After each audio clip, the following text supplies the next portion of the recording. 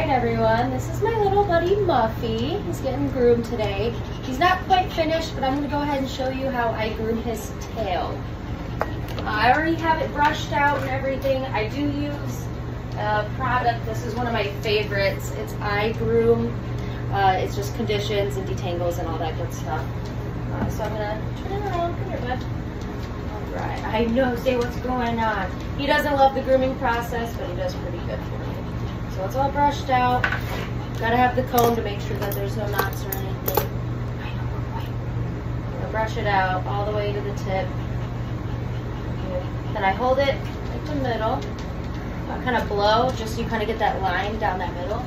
I know, you're being a boy. So then you blow a line down the middle, comb it even to the sides, make sure you're going all the way to the edge of the tail so you know there's no knots or anything like that. Hey, buddy. So you're gonna hold it out even. I know, you're being a good boy. Go ahead, comb it out. And I just take like scissors. I know. Good boy.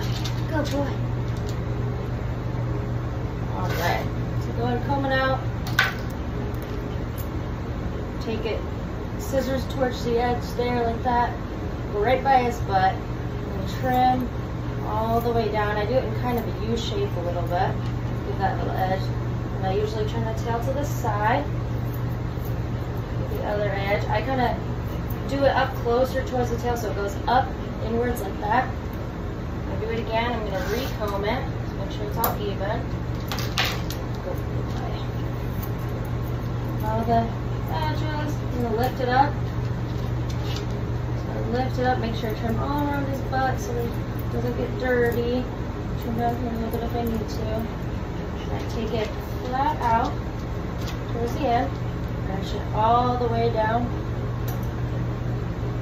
That. I take that little tip off.